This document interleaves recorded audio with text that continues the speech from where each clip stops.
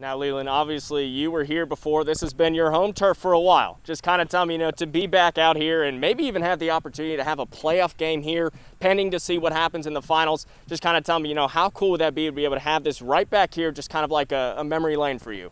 Yeah, obviously um, had some good memories here with CFC. Um, I think I, I know the pitch well, I feel comfortable, very comfortable playing here. So I think I'll definitely love having a playoff game here again.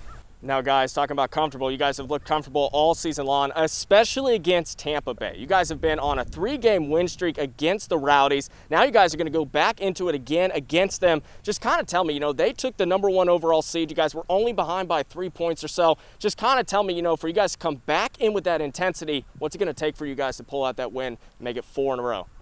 Yeah, I mean, just to, to, speak on the whole Tampa thing, we want to prove that maybe we deserve to be the top team in our group. You know, we've had good performances against them, but we just couldn't get those consistent results throughout the entire course of the season. But you know, we're excited to play. I think I think we you know we've proven time and time again that we're a tough matchup for them, and we just want to keep that momentum going and just kind of talk about it. I know we've talked about it a little bit about, you know, the historic run, but 2013, last time you guys made it to the finals, 2012, last time you guys hung up a banner. Just kind of tell me to be able to put your names in history, put the banner up yourself coming up in the next year.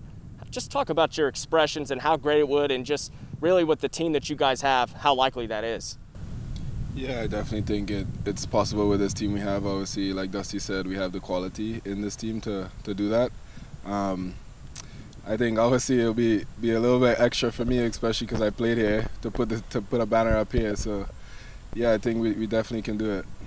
Now it comes on both sides of the spectrum. You guys have been finding the back of the net, but also you know you have some great goals that have been able to keep some clean sheets for you guys. Just kind of talk about the camaraderie the team has. You know, is there ever a time that you guys just relax and you guys just seem to be playing the game, or is it just something that kind of seems fluent and you guys are just ready all the time, either on practice or on the pitch? I think, I mean, it always is going to start from practice. We want to keep that the intensity high in practice so that it translates easily to the game, and maybe maybe that's why it seems like it's like that sometimes. But we're we're working hard every day. Um, goalies have played well all year, keeping clean sheets, making it making it uh, easy for us in front of them, and organizing us. And then we just kind of build that momentum from us into the midfield, and then the midfield into the forward. So we're trying to be as cohesive of a unit as possible.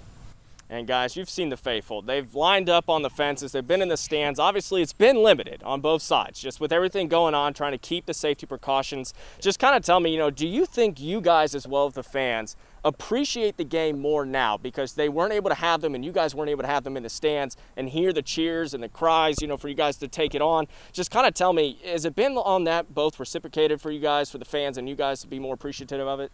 Yeah, definitely. Um, I think you don't really notice how much energy they, they bring to you while playing, especially when we weren't playing with any fans at all. You could hear literally every every pin drop on the field. Um, yeah, they definitely. I think their energy brings it onto us on the field, and I think that it was good having them back. So hopefully, you know, we keep winning and keep keep getting, and hopefully get a playoff game here. And I think even, you know, we haven't had the numbers in the stands, but every game we've had here, I've felt the energy, whether it's from our guys on the bench or what fans we have or just whatever people are around. It's been good energy. So I've been I've had a good time every game so far. And we've had a lot of fun watching you guys, especially. Make sure you guys come out here and watch the game. Obviously, it won't be here this week, but hopefully that will change coming up in the finals. Guys, thank you so much for joining us today. And of course, thank you so much for watching.